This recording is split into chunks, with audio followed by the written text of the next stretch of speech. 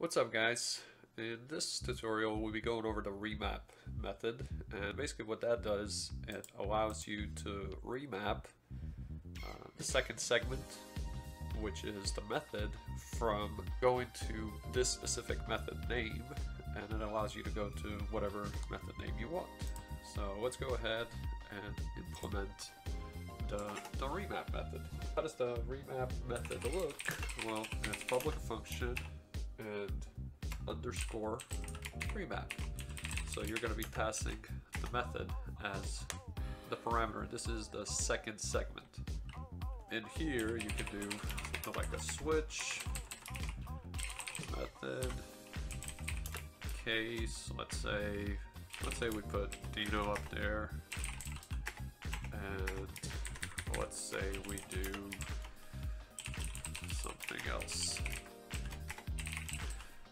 So for these, if the method is Dino, we want it to go to this contact us form. And if it's something else, we want it to go to this index. For this purpose, it does require a parameter. So we're gonna go ahead and eliminate this parameter just for right now. All right, so let's see how it works. If we go over here, if we try contact us form, as you can see, nothing pops up. But if we try to go to Dino, you can see, it redirects to the contact us form. Uh, if it's something else, an index, we'll just do varnum hello, not tell, hello.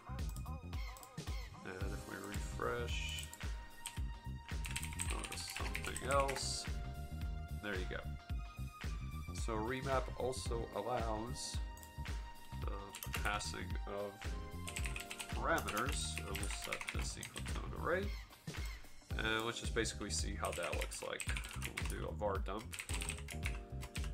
And we'll do a var dump of the params. Okay, so if we go right here, current params is empty, the method is something else. Parameters,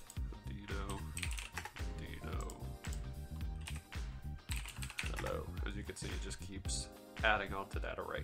If you need to pass, like for example, previously there was a name parameter that was passed to this method, you can grab it via the params using the remap method and push it to this, in this case, contact us form method. So that's pretty much it for the remap method. Uh, we'll continue on. I think we got a couple more things to review in the controllers.